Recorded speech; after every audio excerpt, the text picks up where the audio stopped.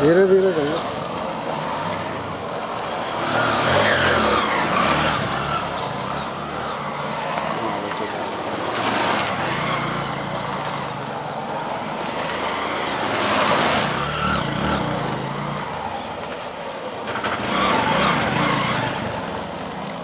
भाई इसी में पोज बदल लो।